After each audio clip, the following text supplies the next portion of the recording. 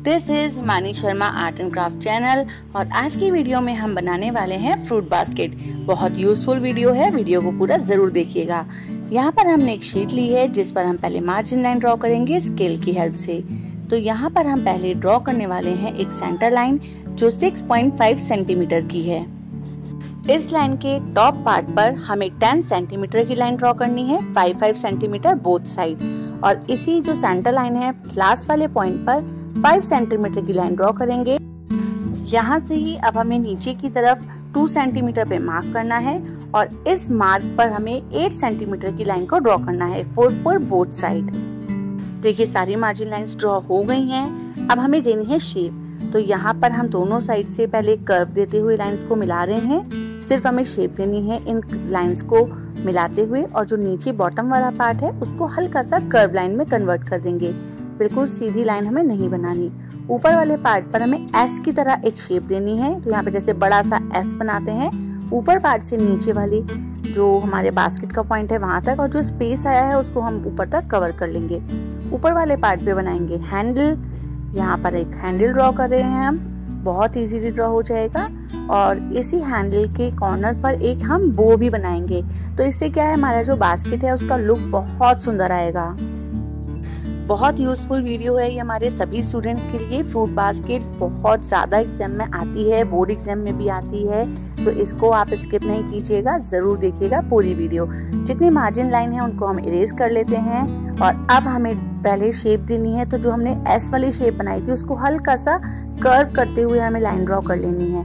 हल्का सा curve curve के साथ छोटे छोटे कर्व के साथ हमने इसको कंप्लीट कर लिया और ऊपर वाले पार्ट से इसको शेप दे रहे हैं। तो ऊपर से हम छोटा छोटा सा इस तरह से कर्व कर रहे हैं तो हमारा जो बॉर्डर है एक तरह से वो निकल कर आ जाएगा बास्केट का।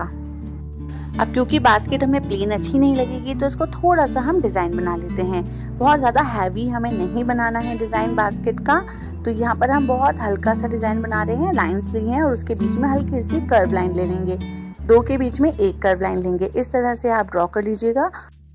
आप अगर चाहें तो बास्केट का जो हमारा ये बेस डिज़ाइन है, इसको डिफरेंट भी बना सकते हैं, अपनी पसंद का भी बना सकते हैं, पर बहुत ज़्यादा हैवी डिज़ाइन नहीं बनाइएगा। क्योंकि बेसिकली जो हमारी बास्केट है वो सुंदर लगनी चाहिए बट हमारे फ्रूट्स भी उतने ही इंपॉर्टेंट हैं तो दोनों हमें कंपैरेटिवली लेकर चलना होता है। अब ड्रॉ करते हैं फ्रूट्स तो सबसे पहले मैंने यहाँ पे एप्पल ड्रॉ किया है, पीछे की तरफ़ एक ऑरेंज ये फ्रंट वाले पार्ट पे बनानास और इसके पीछे एक और एप्पल और साइड में हम बनाएँगे ग्रेप्स बस इतने ही फ्रूट्स हमारे सफिशियंट हैं इस बास्केट के लिए, क्योंकि इसकी जो शेप है, उसके अकॉर्डिंग पूरा भरा भरा हमारा बास्केट लगेगा। अगर हम और ज़्यादा फ्रूट इसमें लगाएँगे तो वो ओवरलैप होंगे, वो उतने अच्छे नहीं लगेंगे। तो हमें जितने ज़रूरत है, उतने ही फ्रूट्स ड्रॉ करने हैं। और ये ध्यान रखिएगा कि फ्रूट्स हमारे एक दूसरे के पीछे आगे होने चाहिए, पूरा फ्रूट कोई नहीं दिखेगा, क्योंकि बास्केट के अंदर हैं फ्रूट्स तो हमारे पूरे वो नहीं दिखाई देंगे। एक दूसरे को ओवरलैप करते हुए फ्रूट्स बनाने हैं। हैंडल को भी इस तरह से जैसे हमने नीचे कर्व किया था, उसी तरह से कर्व करते हुए कंप्लीट कर लेंगे। तो ये हमारा हैंडल का डिज़ाइन भी हो गया। अब स्टार्ट करते हैं शेडिंग तो शेडिंग में यहाँ पर टेन बी पेंसिल से यूज़ कर रही हूँ। आप चाहें तो एट बी पेंसिल या ट्वेल्व बी पेंसिल का भी यूज़ कर सकते हैं। और अगर आप चाहें तो विदाउट कॉटन आप इसको सिर्फ़ मिक्सिंग हैंड से ही कर सकते हैं। बट मैं यहाँ पर थोड़ा सा कॉटन का यूज़ कर रही हूँ। क्योंकि मुझे कॉटन से की हुई मिक्सिंग बहुत अच्छी लगती है। और स्टूडेंट्स के लिए ईजी भी होता है वो करना। बेसिकली मेरी जो ड्राइंग्स हैं वो स्टूडेंट्स के लिए हैं तो जो आसानी से समझ पाए, कर पाए, वो करना अच्छा रहता है। तो यहाँ पर देखिए साइड से जहाँ हमें डेप दिखानी है, वहाँ डार्क शेडिंग करिए और दूसरी साइड शेडिंग नहीं करनी है। जब हम कॉटन से मिक्सिंग करते हैं तो वन साइड डार्क रहती है और उसको जब स्प्रेड करते हैं, जहाँ हमने शेडिंग नहीं की, वो ऑटोमेटिकली राइट रहती है। इसी वजह से हमने इसको प्लेन छोड़ा था, देखिए हमारी डेप्थ आ गई है। जहाँ डार्क दिखाना है वहाँ डार्क और जहाँ लाइट है वहाँ लाइट। अब इसको कंप्लीट करने के लिए थोड़ा सा हमें आउटलाइनिंग करनी होती है। तो यहाँ पर हम डार्क शेडिंग के साथ आउटलाइनिंग करते हुए अपने फ्रूट्स को कंप्लीट कर रहे हैं। जब तक आप ये वाला पार्ट कंप्लीट करते हैं, मैं अपने सभी व्यूअर्स से एक रिक्वेस्ट करना चाहती हूँ कि अगर आप मेरे चैनल पर नए हैं या आपने अभी तक चैनल सब्सक्राइब नहीं किया हुआ है, आप रेगुलर वीडियोस वॉच कर रहे हैं तो प्लीज़ मेरी यूट्यूब फैमिली को इंक्रीज करिए और सब्सक्राइब बटन को प्रेस कर दीजिए।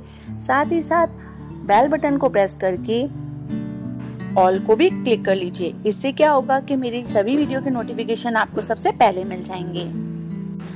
और मेमोरी ड्राइंग रिलेटेड सुराही, जग प्लेट में फल fruit basket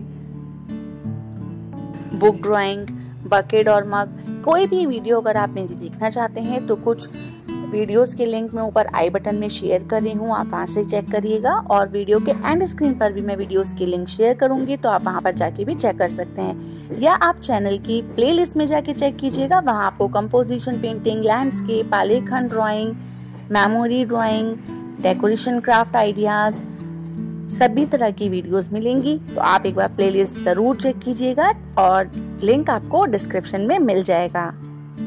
तो देखिए, हमने हैंडल कंप्लीट कर लिया, जो हमारा बास्केट का बॉर्डर है, इसको भी हमने कंप्लीट कर लिया। अब जो हमें शेडिंग करनी है बास्केट की, उसमें भी हम सेम प्रोसेस करेंगे। एक साइड से डार्क और दूसरी साइड से लाइट। हमें बास्केट को बहुत ज़्यादा डार्क नहीं बनाना है तो बिल्कुल मीडियम सी शेडिंग करनी है और उसके बाद जो डिज़ाइन है, उसको थोड़ा सा डार्क बनाना है, ताकि वो हाईलाइट हो। तो यहाँ पर आप इस बात का ध्यान रखिएगा और जितनी भी आप लाइन्स ड्रॉ कर रहे हैं, उनका ध्यान रखिएगा कि वो कहीं से भी ब्रेक होती हुई ना दिखे। तो इक्वल लाइन ड्रॉ करनी है, कहीं से क्रैक नहीं होनी चाहिए, टेढ़ी मेढ़ी नहीं होनी चाहिए, उससे क्या है, वो फिनिशिंग नहीं आती है। इन्हीं छोटी छोटी बातों का आपको ध्यान रखना है। इसी से हमारी ड्राइंग बहुत ज़्यादा अट्रैक्टिव हो जाती है नीट एंड टाइडी दिखाई देती है, बहुत सुंदर लगती है। तो अगर आपको वीडियो पसंद आई है तो प्लीज़ लाइक बटन को प्रेस कर दीजिए वीडियो को अपने सभी फ्रेंड्स के साथ शेयर कीजिए।